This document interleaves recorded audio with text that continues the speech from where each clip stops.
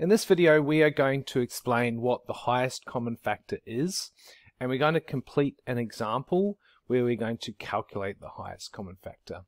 Now first of all I want you to know that the highest common factor is actually known by two different names. We have the highest common factor or for short HCF.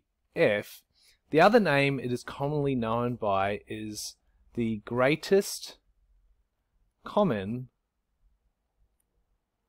divisor or for short GCD. Now the best way to explain what the highest common factor is is to just go in and complete an example.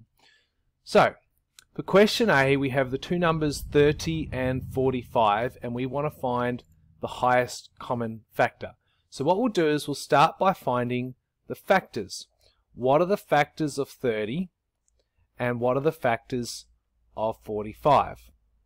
I know that 1 times 30 gives me 30. I also know that 2 times 15 gives me 30. 3 times 10 gives me 30. And also 5 times 6 gives me 30. This lists all the factors of 30 for me. What makes 45? Well, I know 1 times 45 makes 45. I know that 3 times 15 makes 45. And I also know that 5 times 9 makes 45. So we've listed all the factors of 30 and we've listed all the factors of 45.